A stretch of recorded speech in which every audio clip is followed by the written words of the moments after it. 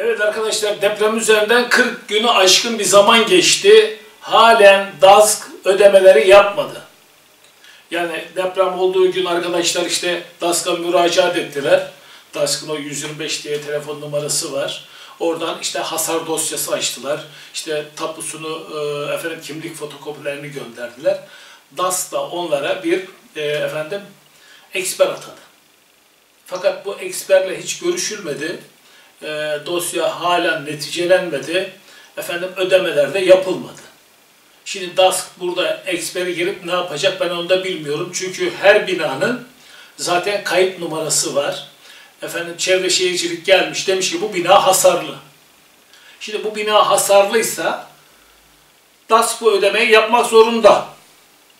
Hatta bir ay önce yapmak zorundaydı. Veya olay günü yapmak zorundaydı. Yani 40 günü aşmış DAS daha neyi bekliyor? Yani gelecek efendim bu bina hasarlı ama senin bölüm hasarsız mı diyecek? Yani böyle deme şansı var mı? Şimdi diyelim ki ne bir blokta oturuyorsun. Blokta işte efendim alttaki kolonlar zarar görmüşse o binadaki bütün daireler hasarlı demektir. Olabilir mi öyle? Şimdi depremde görüyorsunuz bazı binalar çökmüş ilk iki katı, son üst katı sağlam. Şimdi bu sağlam mı? O bina yıkılacak, yeniden yapılacak. Şimdi DAS burada böyle bir şey mi bekliyor diye şüpheler arkadaşlar bize soruyorlar. Ee, inşallah böyle bir hataya düşmezler. Yani 98 Adana depreminde, 99 işte Marmara depreminde de bunları gördük.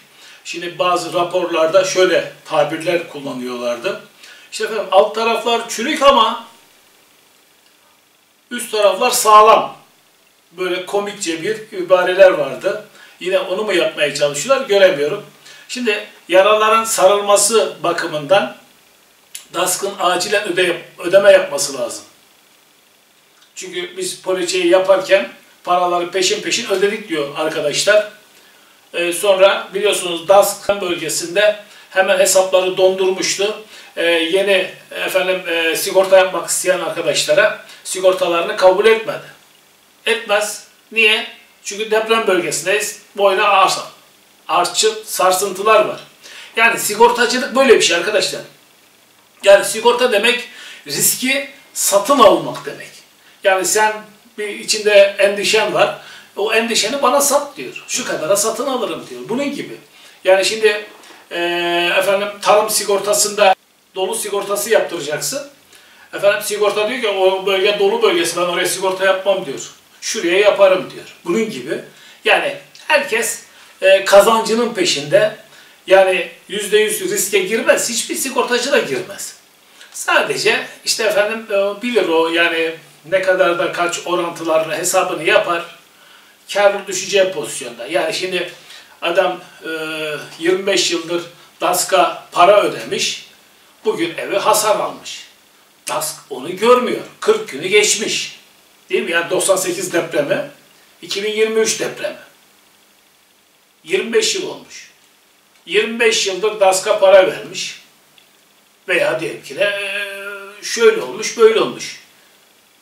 Yani DASK'ın ödemeyi hemen yapması lazım. Çünkü DASK bir de e, yani e, böyle efendim keyfi sigorta değil.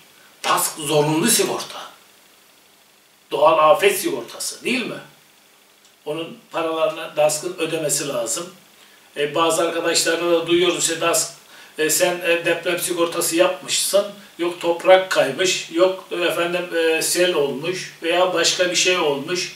Orada öyle öyle ibareler varmış. Ben o detayları bilmiyorum.